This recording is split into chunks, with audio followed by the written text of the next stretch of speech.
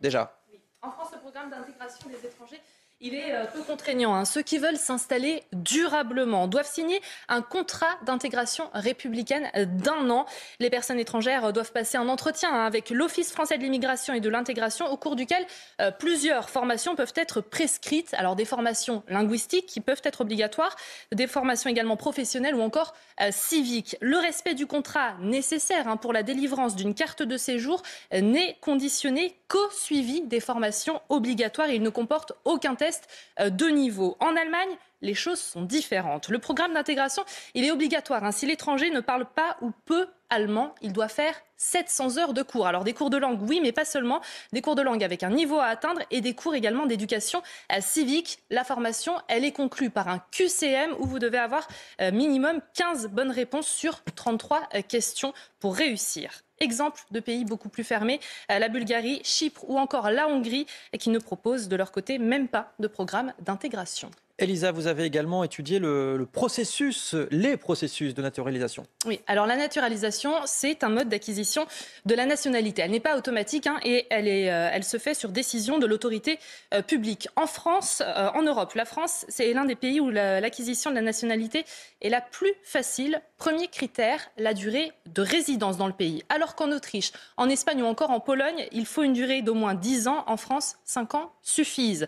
Deuxième critère, la maîtrise d'un niveau de langue. La France demande un niveau permettant d'être autonome au quotidien, alors que le Danemark exige un niveau euh, supérieur. Autre différence, l'effet d'une condamnation euh, pénale hein, pour euh, l'accès à la nationalité.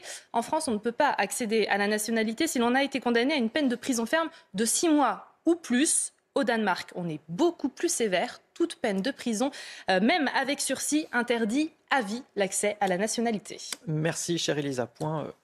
Plus, que complet, cher, Guillaume Bigot. Euh, question, allez, euh, euh, j'allais dire simple, mais pas vraiment. La France est-elle laxiste ou plus permissive que les autres? Ah bah Les deux, mon général. Les deux. Et ça a été parfaitement, la preuve a été parfaitement administrée à l'instant même. cette étude de la Fondapol est d'ailleurs très très bien faite. Normalement, se comparer, c'est se consoler. Là, c'est vraiment se désoler.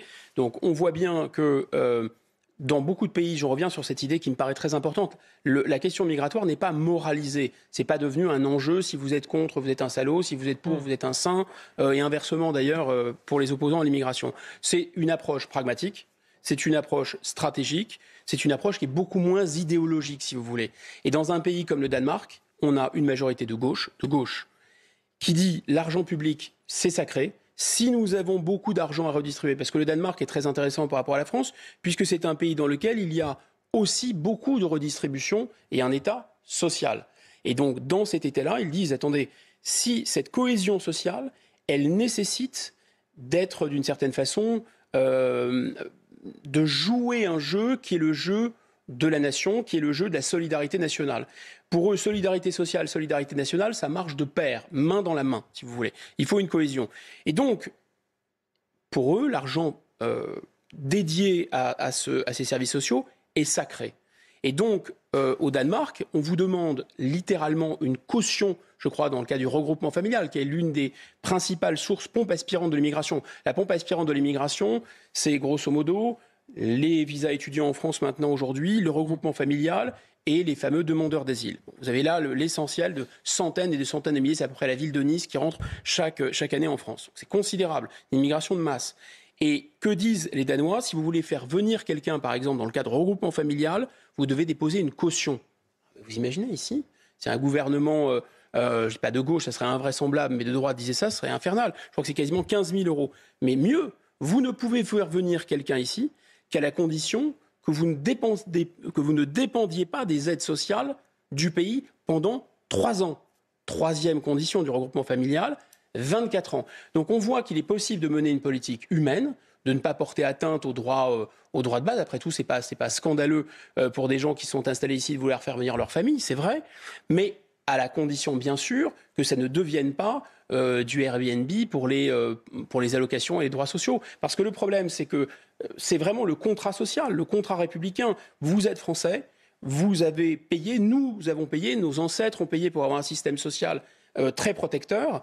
Vous pouvez éventuellement en profiter. Si vous, vous contribuez aussi. Mais vous ne pouvez pas faire venir des gens de l'extérieur à raison de centaines de milliers qui vont, eux, profiter sans jamais contribuer. Sans jamais contribuer parce qu'ils ils n'auront pas payé stricto sensu, mais sans contribuer aussi parce que de toute façon, ils ne sont pas d'accord avec les valeurs du pays. Et donc, le, Danemark pose une dernière condition qui est qui serait ici, mais inacceptable.